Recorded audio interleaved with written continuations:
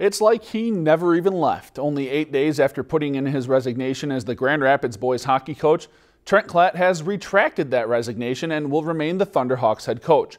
A short statement released today from ISD 318 said, after speaking with students and hearing from the community, Trent Klatt met with ISD 318 administration and has reconsidered his resignation. ISD 318 Superintendent Bruce Thomas has agreed to pull the item from the board agenda, and the district is happy to announce Klatt's continued tenure as the GRHS hockey coach. Klatt had an impressive first year with the Thunderhawks, leading them to a 23 7 1 record and a third place finish in Class 2A.